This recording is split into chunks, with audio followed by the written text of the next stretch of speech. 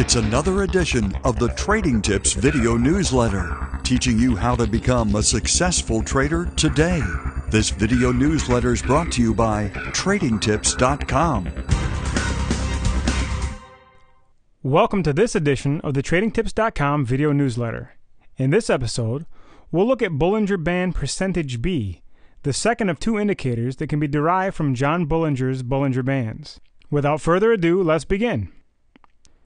When looking at Bollinger Bands, there are two things most chartists consider. One, how wide or narrow are the bands? And two, where's the stock's current price in relation to the bands? Last week, we looked at Bollinger Band width, an indicator that specifies exactly how wide or narrow the bands are.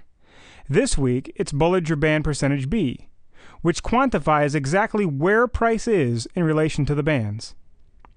The calculation for Bollinger Band percentage B is price minus lower band divided by upper band minus lower band. This produces a result that falls into one of six categories. Percentage B equals 1 when price is at the upper band. Percentage B equals 0 when price is right at the lower band. Percentage B is greater than 1 when price is above the upper band. Percentage B is less than 0, i.e. negative, when the price is below the lower band. Percentage B is greater than 0.5 when the price is above the middle band, which of course is the 20-day simple moving average. And percentage B is less than 0.5 when the price is below the 20-day SMA. Bollinger Band percentage B can be used to identify when stocks are overbought or oversold.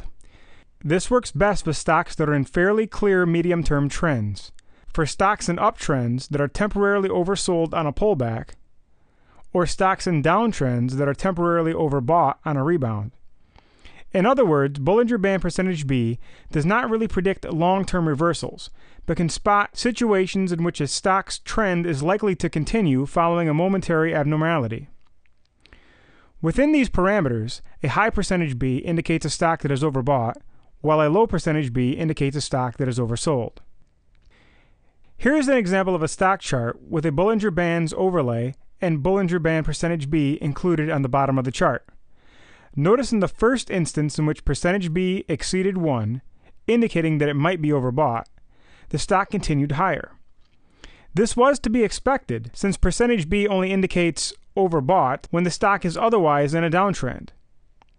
Later, when percentage B dipped below 0.5, a significant level, it indicated the stock was moderately oversold amid an otherwise bullish trend, and, as expected, the stock shot higher.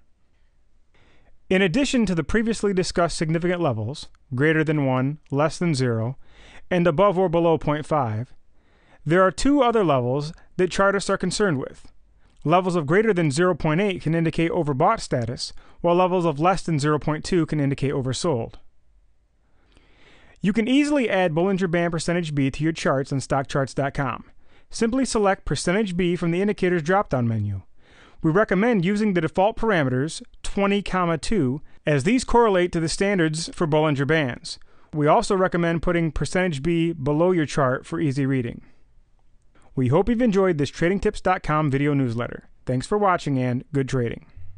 This Trading Tips video newsletter has been brought to you by Manny Backus's First Hour Trading System. Every day there's money to be made in the first hour of stock trading. This is the world of day trading, not for novices, unless you have a system. The First Hour Trading System. Visit firsthourtrading.com now and sign up for a free 30 day trial. You could make enough in the first hour of your day to take the rest of the day off. View more Trading Tips videos. Visit tradingtips.com. Sign up for our free video newsletters and become a successful trader today.